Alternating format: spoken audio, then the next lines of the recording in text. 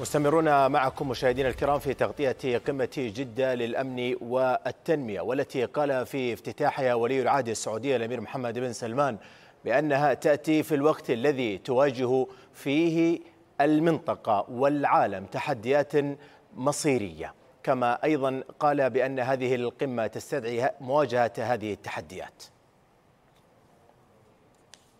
تعزيز التعاون والتحالفات في الشرق الأوسط استراتيجية الرئيس الأمريكي وتقوم على خمس مبادئ.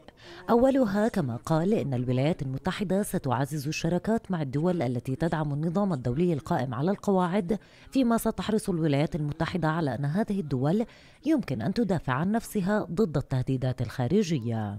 ثانيا وفق بايدن فإن الولايات المتحدة لن تسمح للقوى الخارجية بفرض تهديدات على الملاحة والمضائق البحرية بما في ذلك مضيق هرمز ومضيق باب المندب.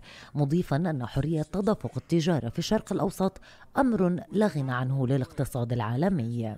ثالثا يقول الرئيس الأمريكي إن الولايات المتحدة والى جانب ردع التهديدات ستعمل على خفض التوترات وخفض النزاعات أينما كان ذلك ممكنا مشيرا إلى التزام واشنطن بعدم حصول طهران على سلاح نووي.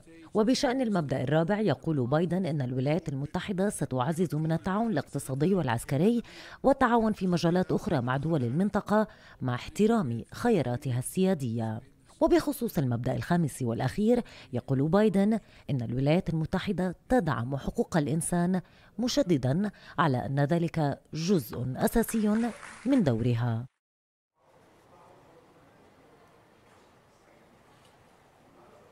قال ولي العهد السعودي الأمير محمد بن سلمان في افتتاح قمة التنمية والمناخ بأنها تأتي في الوقت الذي يواجه فيه العالم والمنطقة تحديات مصيرية كبرى تستدعي مواجهتها. إن اجتماعنا اليوم يأتي في الوقت الذي تواجه فيه منطقتنا والعالم تحديات مصيرية كبرى.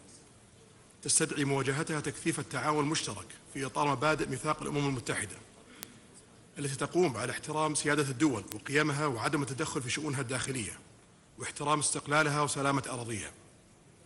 ونأمل أن تأسس قمتنا هذه لعهد جديد من التعاون المشترك لتعميق الشراكة الاستراتيجية بين دولنا والولايات المتحدة الأمريكية.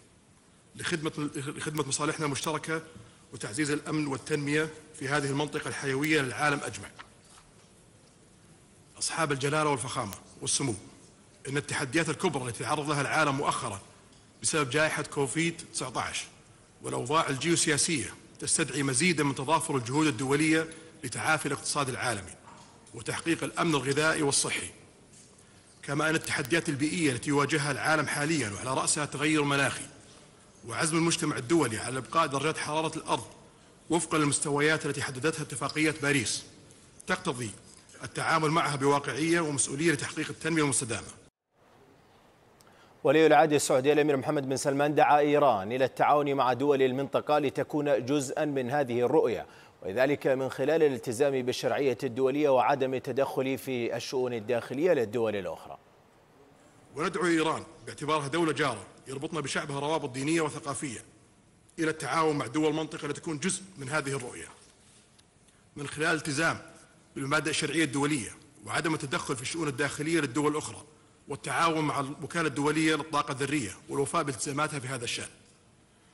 وامتدادا لرؤية المملكة الهادفة لتحقيق الأمن والاستقرار في المنطقة فقد دعمت جميع الجهود الرامية لوصول حل سياسي يمني يمني وفقا للمرجعيات الثلاث كما بذلت المملكة مساعيها لتثبيت الهدنة الحالية وسوف نستمر في تقديم المساعده الانسانيه للشعب اليمني الشقيق.